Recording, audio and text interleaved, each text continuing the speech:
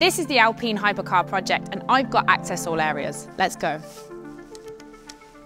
Software for Alpine's Hypercar is as complicated as you would expect. Now I'm no expert, but today I'm gonna have a little sneak around and see what I can find out for you guys.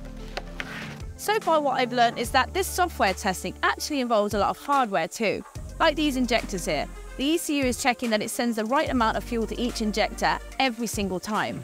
This here is showing the crankshaft rotation and then when every time the signal tells the injector to work, it shows the trace on the graph of the fuel being injected into the engine.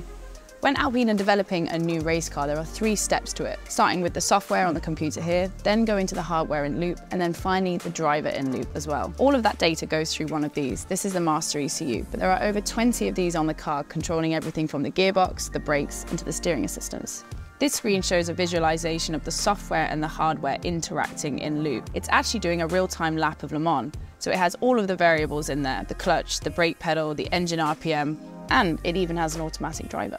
They can test 8,000 variables and 10,000 calibration parameters, and this can all be updated in under one millisecond. This is just testing that every condition and every strategy that they use works correctly. This saves thousands of miles on track and also any costly mistakes.